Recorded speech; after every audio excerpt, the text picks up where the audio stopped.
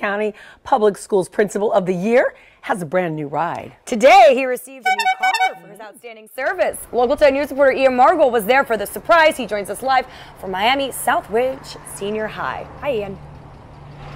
And it was a very, very cool way to end the week. Humberto Miret actually grew up in Miami-Dade County Public Schools. He's been working in the school district for 20 years. Now this year he is the principal of the year. He got a new car for his work.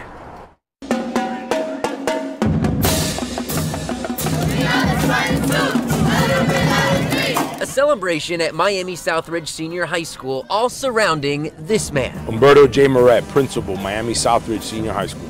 This year's Miami-Dade County Public Schools Principal of the Year.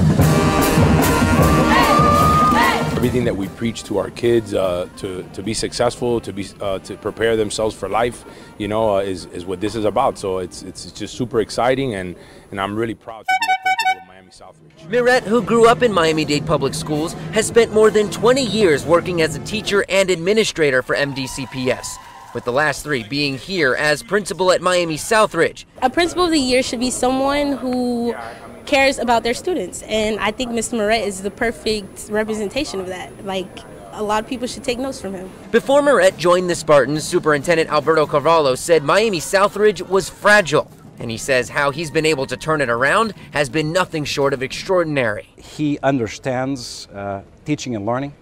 Um, he's supportive of teachers and he's got the results to prove it. Because of that attitude, Miret was chosen as this year's Principal of the Year for the school district and was awarded a brand new 2018 Toyota Camry SE, which honestly was barely big enough for the guy who is lovingly called the Gentle Giant. They could be proud that when they walk through the hallways of Miami Southridge or their future Spartans, um, they're, they're going to get a quality education that they're going to be proud of.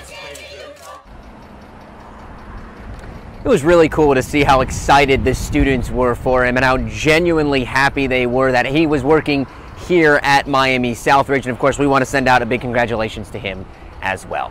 Live at Miami Southridge Senior High School, Ian Margol, Local 10.